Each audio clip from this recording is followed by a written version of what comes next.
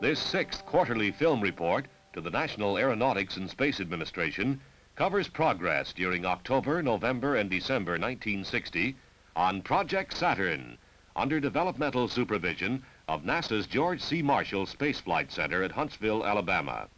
Shown here in a one-tenth scale model, the Saturn vehicle is designed for use in orbiting payloads in excess of 10 tons, launching Mars and Venus probes, effecting soft landings on the moon, and injecting manned satellites and space stations into orbit.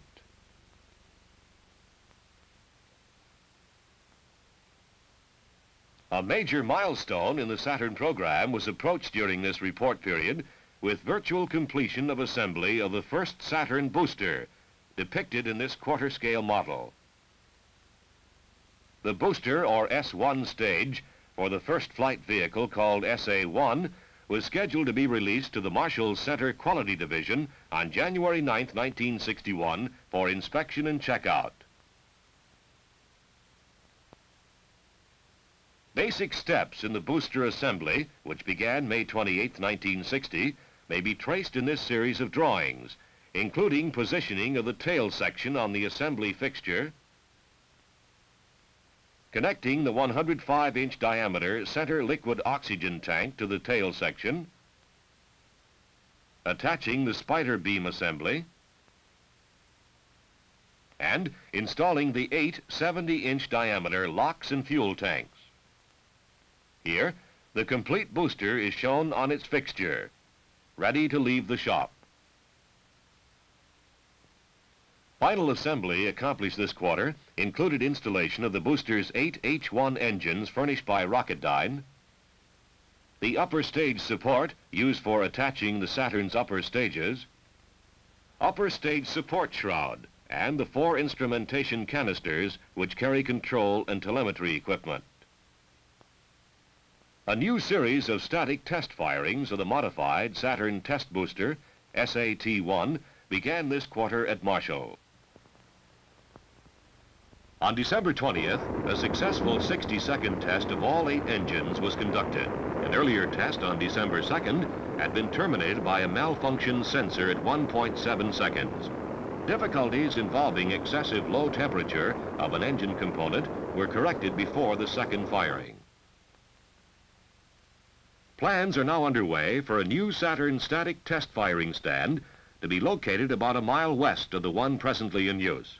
Addition to this facility will enable the center to conduct two booster captive firing operations in the same period. Aetron, a division of Aerojet General Corporation, has been selected to do the engineering and design criteria work on the new stand. This phase is expected to require about seven months. Construction contracts will be awarded separately. Ultimate cost of the static test facility will be $10,800,000. Meanwhile, also in the test area, a striking new landmark rose against the skyline as the new dynamic test facility, shown in this artist sketch, was erected.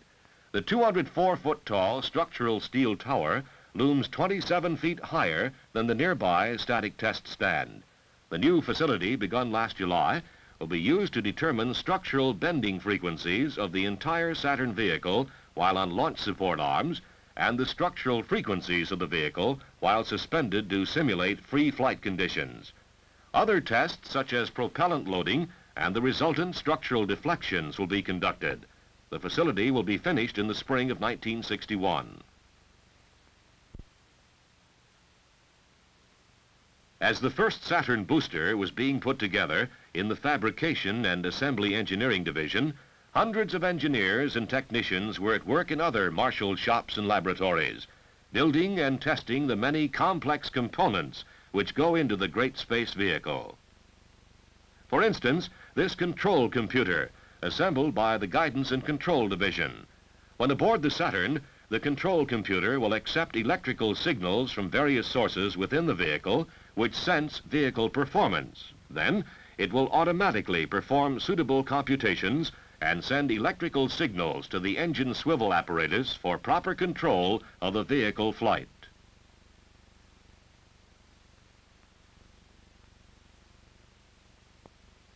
The computer is of modular design. The various circuits have been designed as independent modules which can be assembled and tested separately and plugged into the computer.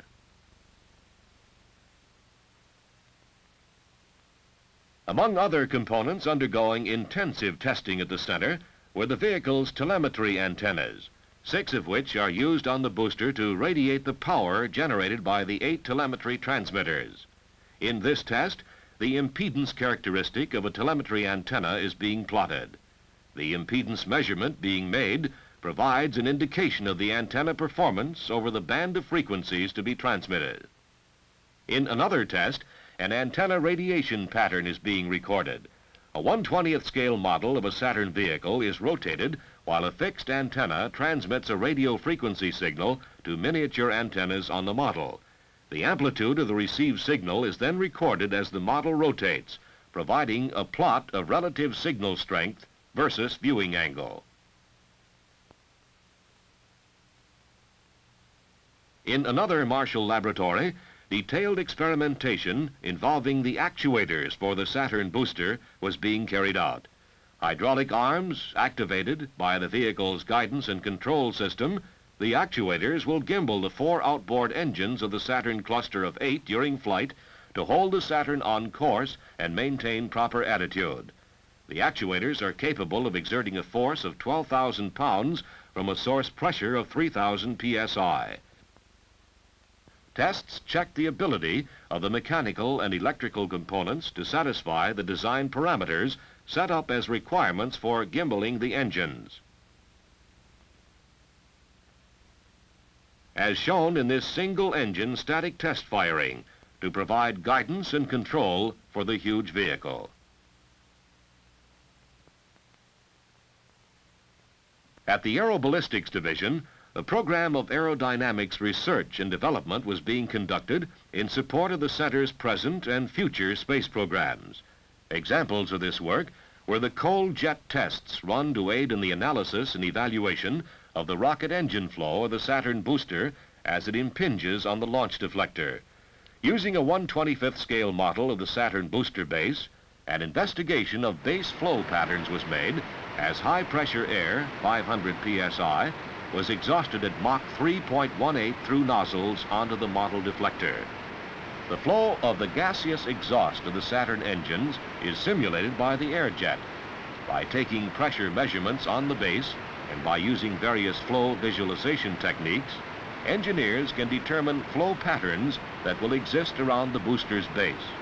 In January, a pebble bed heater is to be installed in the air supply so that the engine flow may be heated to 600 degrees Fahrenheit.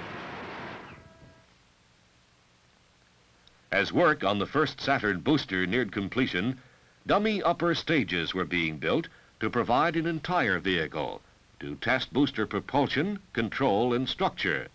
The dummy second stage, called the S4 stage, was fabricated and assembled at Marshall.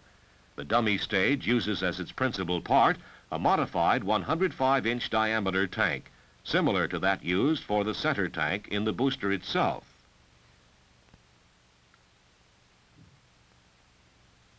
Steel struts, or longerons, fabricated at Marshall, were joined to the tank and a metal skin attached, thus bringing the dummy up to the live stage's diameter of 220 inches. Assembly work began in late November using an assembly fixture which had been provided by the Lockheed Aircraft Corporation. The 105-inch tank can be water ballasted to simulate the weight of the actual second stage. Assembly of the dummy is scheduled for completion in late January 1961. Douglas Aircraft Company, contractor for the live S4 stage, is now making a full-scale mock-up of the front and rear sections of the stage at its plant in Santa Monica, California. The mock-up is necessary for study of problems which will be involved in building the actual stage.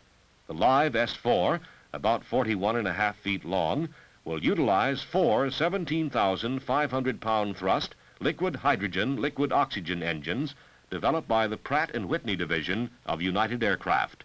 The first three Saturn vehicles flown will have dummy second stages.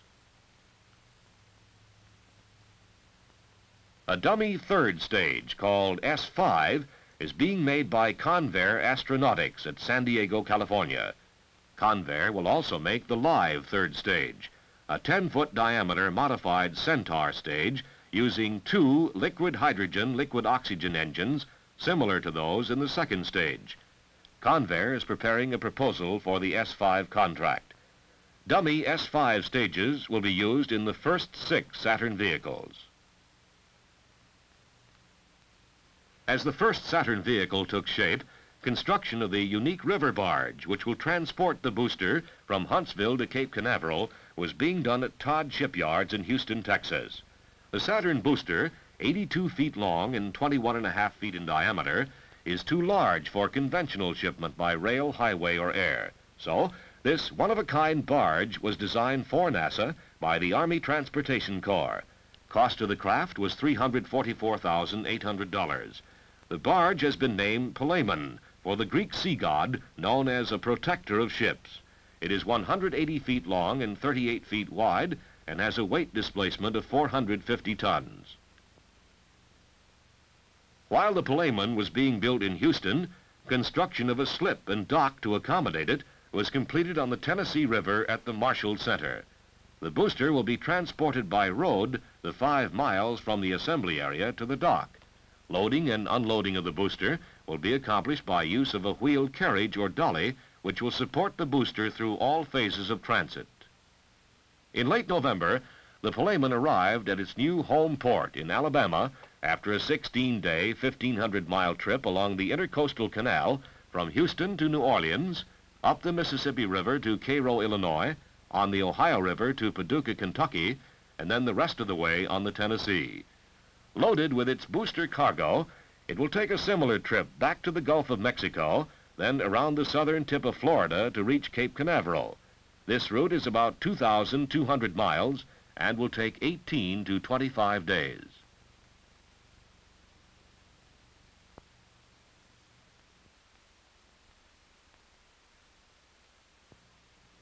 At its destination, work is proceeding on an unloading area where the booster will be taken off the barge and transported to the launch site about one mile away.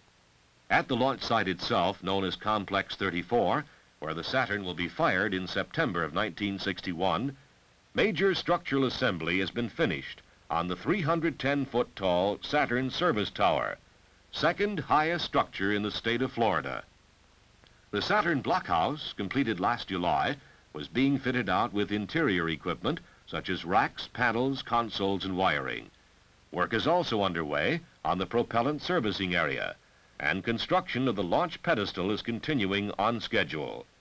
As Complex 34 progresses, design criteria are being established for construction of a second Saturn space vehicle launching site to be known as Complex 37. The additional complex will be needed to support anticipated vehicle firing rates and to serve as a backup for the first complex.